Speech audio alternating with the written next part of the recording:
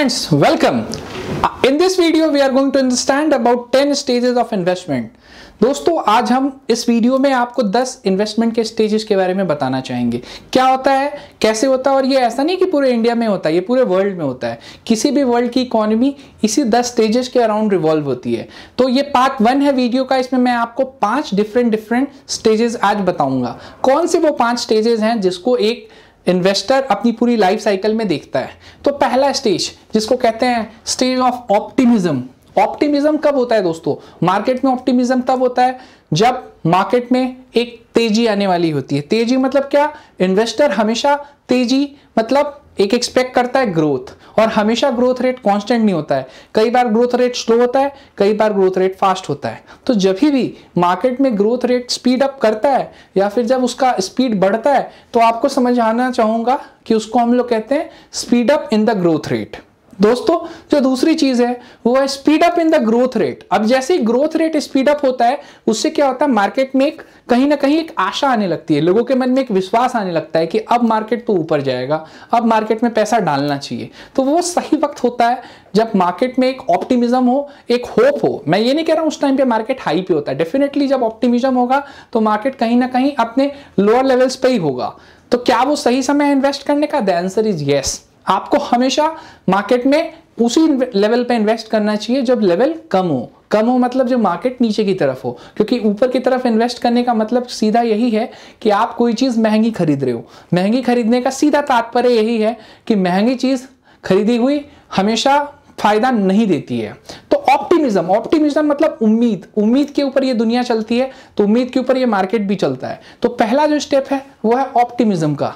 दोस्तों, जो दूसरा स्टेज है वो एक्साइटमेंट का। जैसे ही मार्केट में एक्साइटमेंट आता है एक्साइटमेंट का दौर आता है तो क्या होता है? Market start keep on growing market में ग्रोथ का मोमेंटम पिकअप करता है। मार्केट के जब ग्रोथ का मोमेंटम जब पिकअप होता है, उसमें क्या होता है? धीरे धीरे धीरे धीरे इन्वेस्टर का सेंटिमेंट बिल्डअप होने लगता है। और सेंटिमेंट बिल्डअप होने के बाद क्या होता है? मार्केट में एक पॉजिटिविटी आती है। Positivity in terms of what biasness जैसे मार्केट में दो तरह के बायस लोग होते हैं। एक होते हैं पॉजिटिव एक होते हैं निगेटिव जब भी निगेटिव लोग बायस ज़्यादा होते हैं तो उस टाइम पे मार्केट नीचे की तरफ़ होता है। तो हमेशा जब एक्साइटमेंट का स्टेज आएगा, तब ये मान के चलिए कि मार्केट में अब बाइंग पिकअप हो चुकी है। फॉर एग्ज़ाम्पल अगर बाइंग का कर्व ले ले तो बाइंग हमेशा कब पिकअप होती है? बाइंग हमेशा नीचे के लेवल पे पिकअप होती है। तो जैसे ही बाइंग का कर्व यहाँ पे पिकअप हो रहा है, इस मीन्स कि यहाँ पे एक्साइटमेंट का लेवल काफ़ी हाई है। और इस लेवल के हाई होने की वजह से क्या हो रहा है कि मार्केट में एक complete level of atmosphere create हो रहा है, जिसकी वजह से हम लोग कह रहे हैं मार्केट में एक एक्साइटमेंट है, एक चाम है, एक कहीं ना कहीं ग्रोथ का एक ट्रेजेक्ट्री है।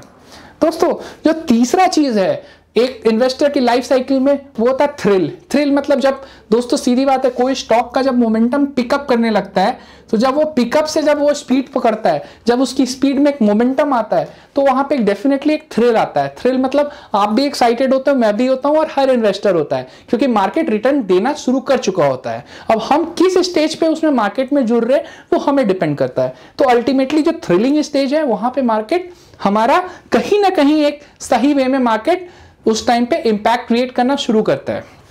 दोस्तों, जो चौथा स्टेज है, वो यूफोरिया आपको पता होगा, जब मार्केट कंप्लीटली जब अपने थ्रिल के स्पीड पे, जब टॉप के लेवल पे जब दोस्तों यहाँ से पिकअप करता है तो यहाँ पे यूफोरिया हो जाता है। अब दोस्तों यूफोरिया के दो तीन फ़ायदे हैं दो तीन नुकसान भी है।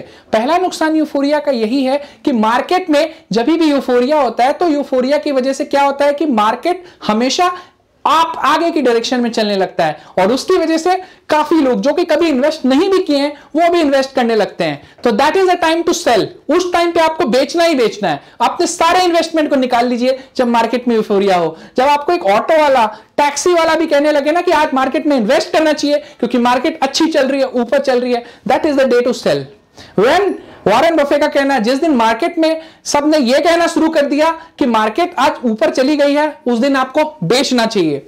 पांचवी चीज़, जिसको कहते हैं एंग्जाइटी और डिनाइल एंग्जाइटी और डिनाइल मतलब जब मार्केट अपने पीक से एक लेवल ऊपर चली जाती है तो यूफोरिया के बाद क्या होता है? हर आदमी कहीं ना कहीं से पैसा लगाना चाहता है इमीडिएटली रिटर्न लेना चाहता है, और उस चक्कर में ज़बरदस्त तरीके का लॉस होता है. तो आज ही याद रखें, जब भी मार्केट एक यूफोरिया के लेवल से ऊपर जाए, जब भी मार्केट में ओवर बाइंग के सेंटीमेंट्स आ जाए इमीडिएटली सेल कीजिए और अपना पोर्टफोलियो खाली कीजिए, क्योंकि वो टाइम होता है प्रॉफिट बुकिंग का। तो दोस्तों, इस पाँच पॉइंट्स को अगर आप समझते हैं तो आपको डेफिनेटली कभी भी स्टॉक मार्केट में लॉस नहीं हो सकता है। ये एक बहुत फंडामेंटल टॉपिक है और ऐसा नहीं कि केवल इंडियन मार्केट के लिए एप्लीकेबल है पूरी दुनिया की मार्केट के लिए एप्लीकेबल है। और आपको पता है मार्केट एक हमेशा साइकिल में चलता है। तो साइकिल में डेफिनेटली जो चीज़ ऊपर है, वो नीचे आएगी, जो चीज़ नीचे है, वो ऊपर जाएगी। तो ऑलवेज रिमेंबर दिस और thanks for watching this video keep subscribing to our channel और to get more notification and press the bell icon thank you so much